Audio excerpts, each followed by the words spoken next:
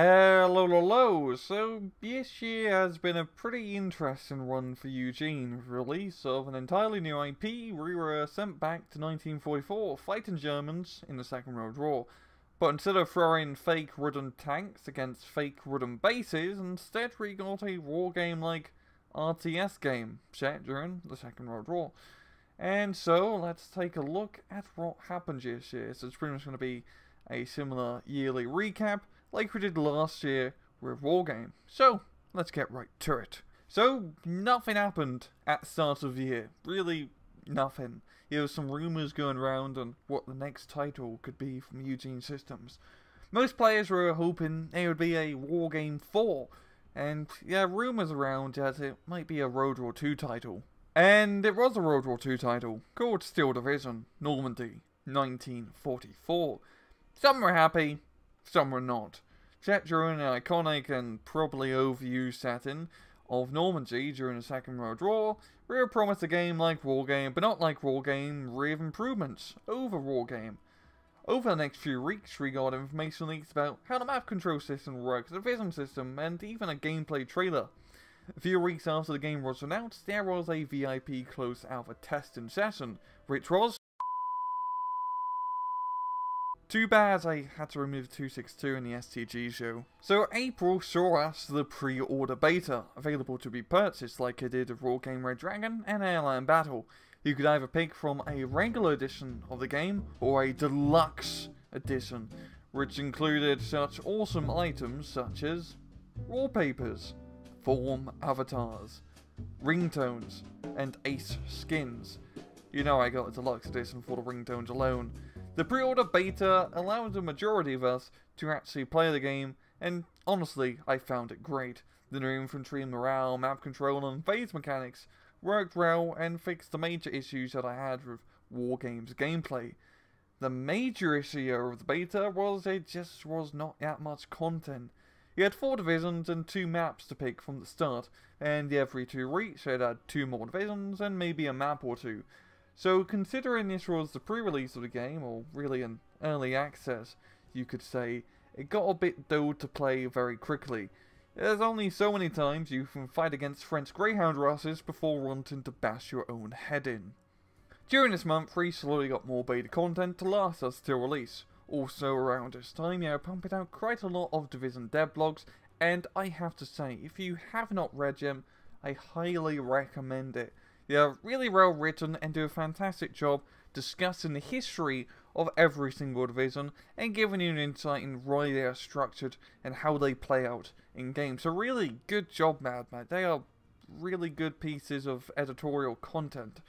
But it was inevitable, and on the 23rd of May, Steel Division was finally fully released. We got all 18 divisions, 3 campaigns, and a bunch more maps. To quickly summarise my thoughts on the release content, the campaigns were pretty alright, but they had terrible voice acting. Maps were good, no bridge choke points, and a lot of room to maneuver. Yo, they were a bit fat, it is northern France after all. New divisions were fun, none are too overpowered at release. And the main menu is absolutely shit. Just, it's not fun. This is not what I want from a main menu. I look at AirLand Battle.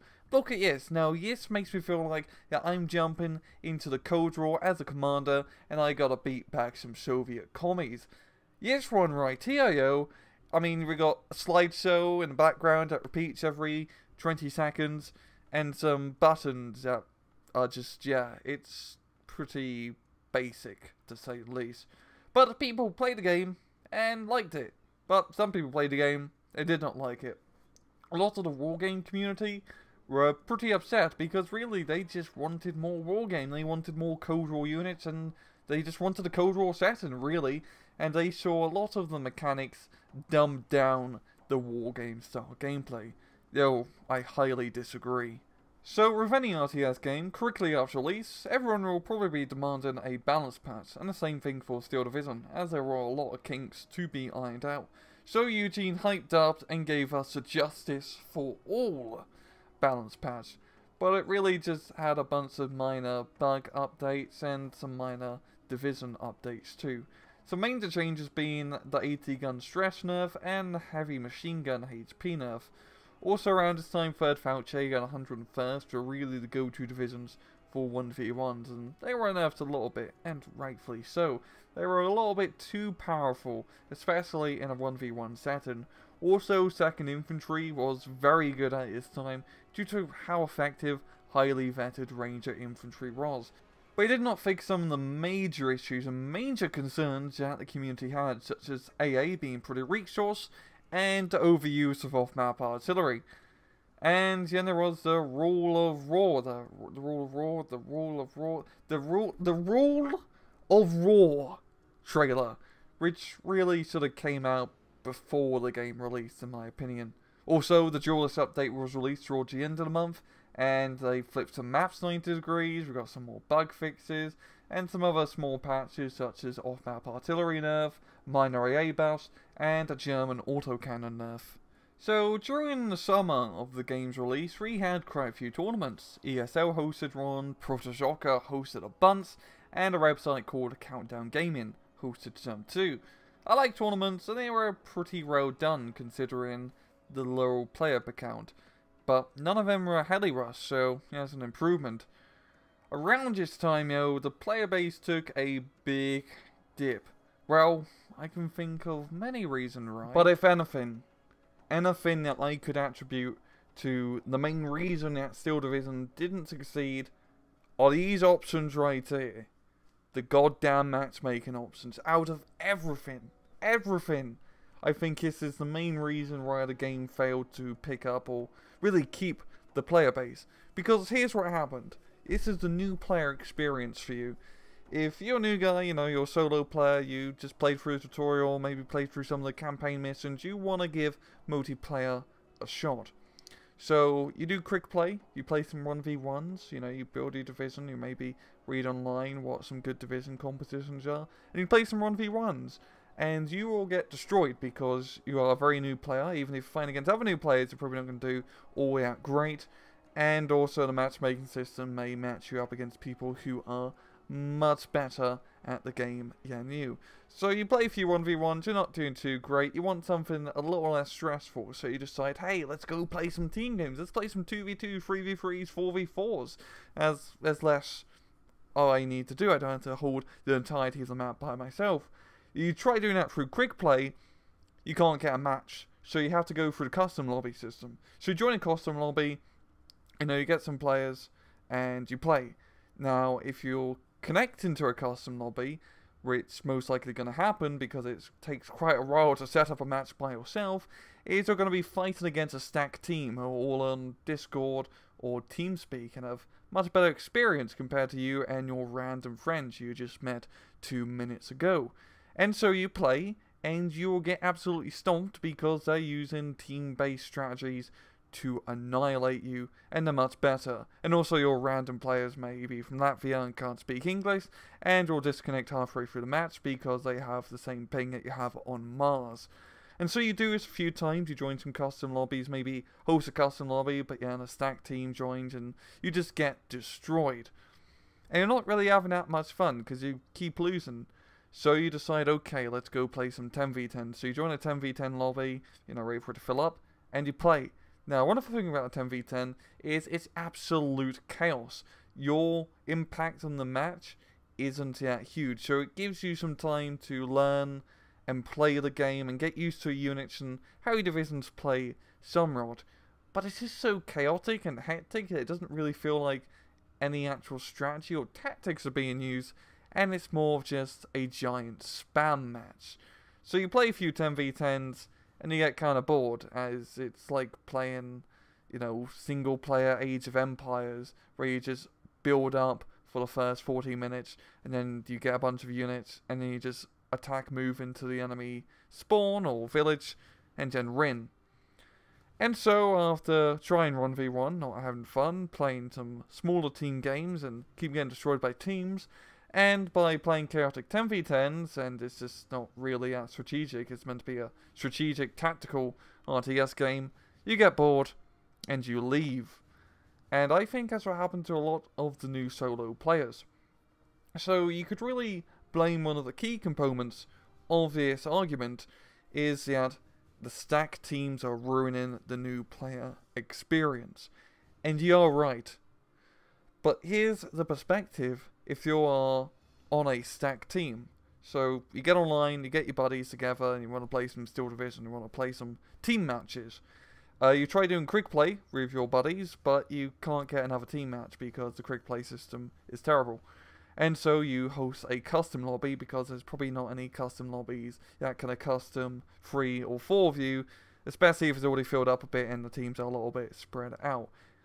And so you host a custom lobby, you rate, people join, some people leave, then they join again. You play the match, and you play the match, and you just completely destroy them. They disconnect halfway through. You already got like a plus two point advantage, six minutes in the game, and you win. You do this a few more times, and you win, and you win because there's just a lot of new players, and yeah, you can't really find another team easily. And so you keep doing that and then you get bored because you're, you're just winning. There's no actual strategy. You are completely wiping the floor of your opponents. You're not going to play 10v10s because, yes, it's chaotic and you can't really do too much team stuff in 10v10s. So you may think, hey, you team bastards, why don't you just play an in-house match together? And you can actually get a proper, strategic, fun match with actual some tension. But the problem with always doing in-house matches is one you may not want to fight against your friends all the time because it's much more fun to work with them instead of calling their 25 pound artillery bullshit. And number two is all your friends may not be at the same skill level, there may be an odd number of you. And so you can't really do an in-house all out effectively.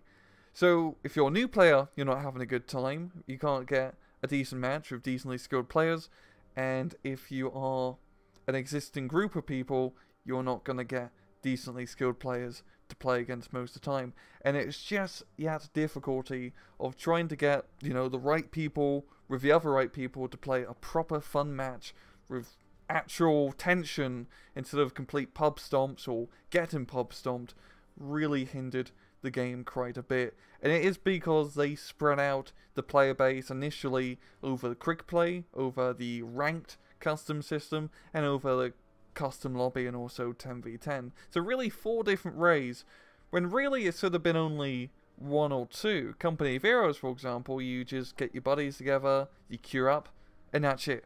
You you get a 2v2, you get a 1v1, depends on how many you are. The matchmaking system works well.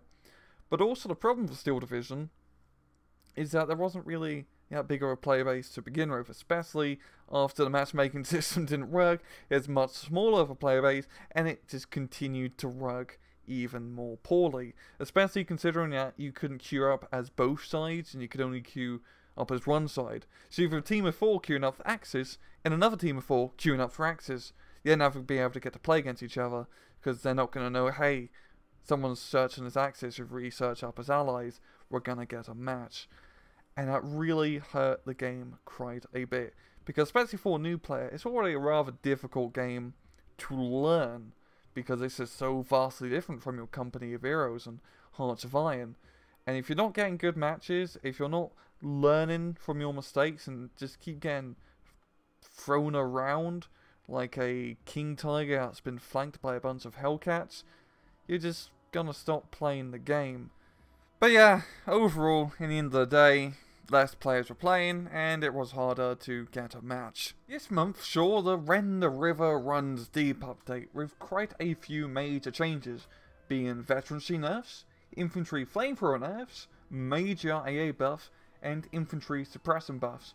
Also around this time, I'd say the 3rd Feldjäger, 2nd Infantry, and 101st Airborne Holy Meta Trinity really became a bit obsolete due to the changes mentioned above. But there would always be your 17th SS and 15 Scottish divisions, always, yeah, always being useful.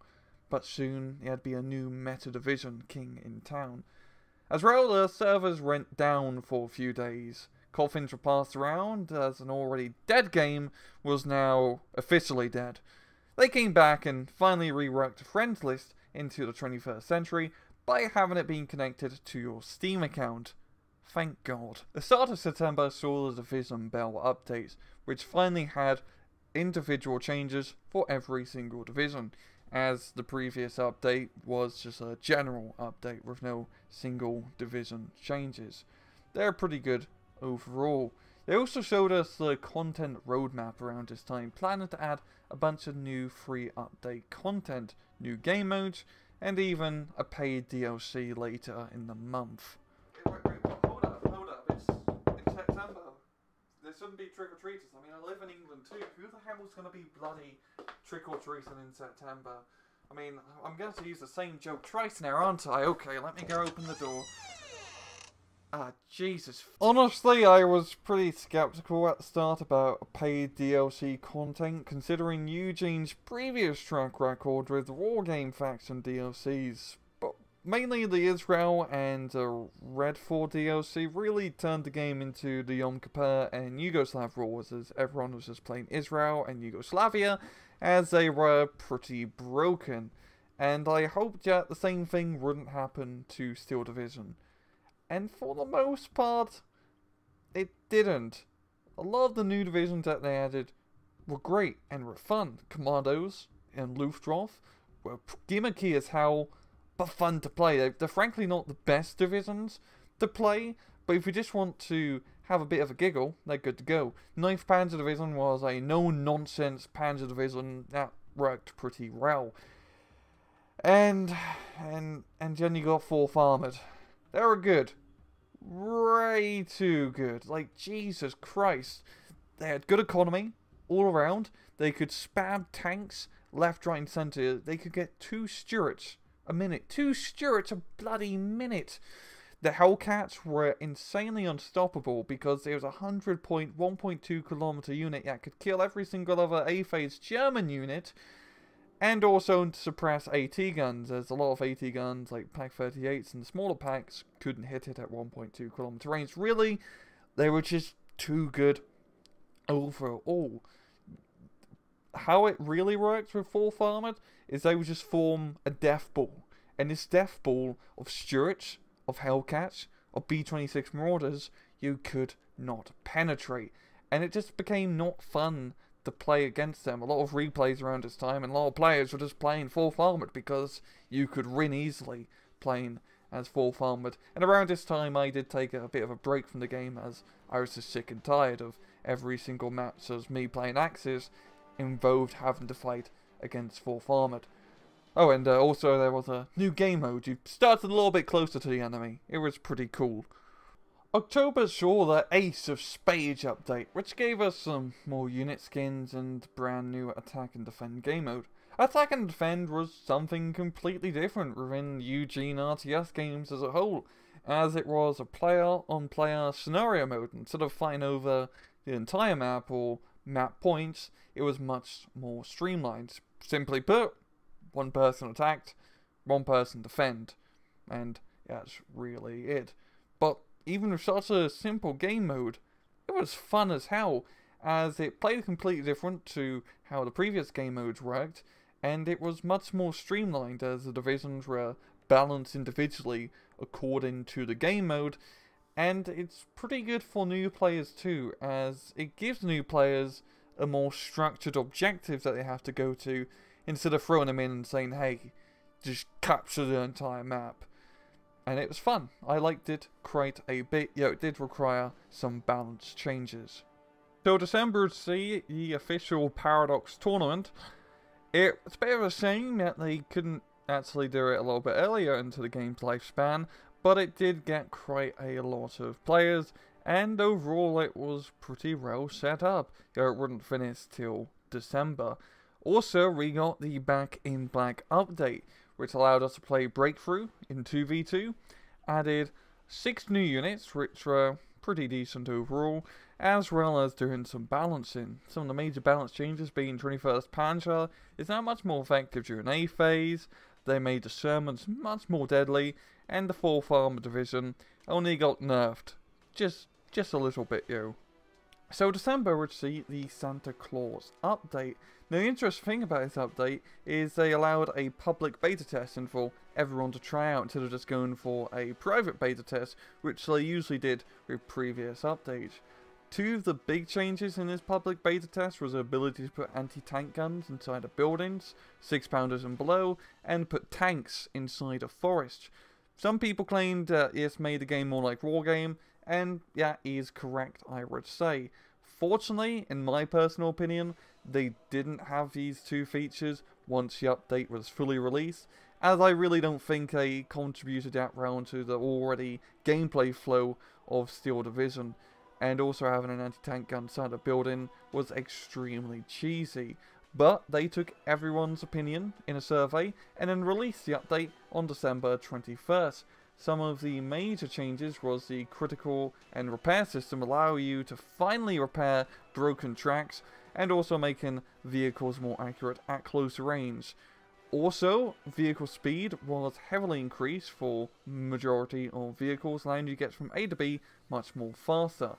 As well, there was a photo contest for the update, and well, you managed to get a GTX 1080 and a pretty nifty t-shirt. I even submitted my own. Perfection. And slightly off topic, throughout the entirety of 2017, Wargame did not receive a single update, leaving the state of the subreddit in a permanent comatose of memery. And well, that really sums up the activity for Eugen throughout the entirety of 2017. Overall, Steel Division, I say, is a pretty damn good game. It's an improvement over the War Game series, and I think it was the right direction to go. It's a lot of fun. It's just a shame it couldn't garner the player base yet it potentially could have, and that's due to the reasons I mentioned earlier. But really, what's gonna happen next? Last year, a lot of us was hoping for Wargame 4, but instead we got Steel Division, so take all of this with a grain of salt.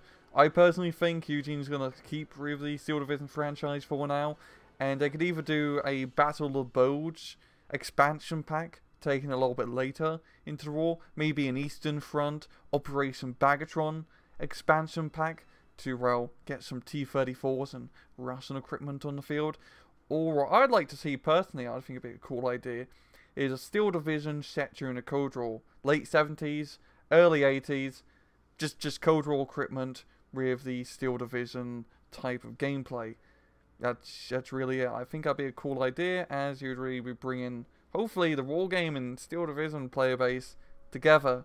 Maybe I don't know. I am hopeful.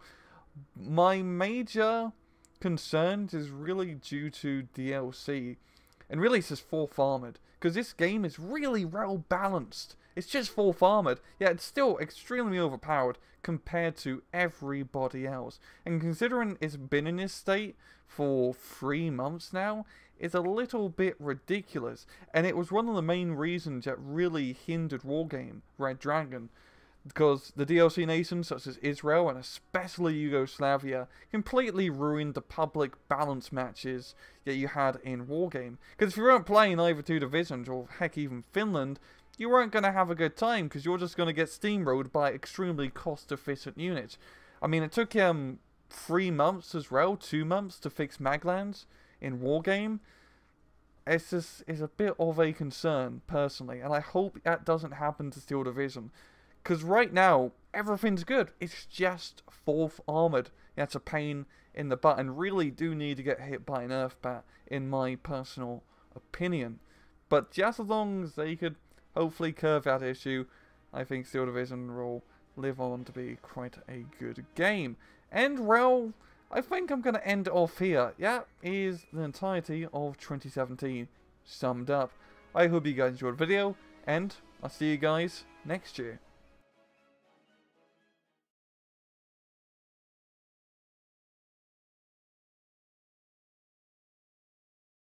So I get a lot of lovely comments throughout the year and I want to share this time at the end of the video to show you my favourite comment that I've received throughout the entirety of 2017.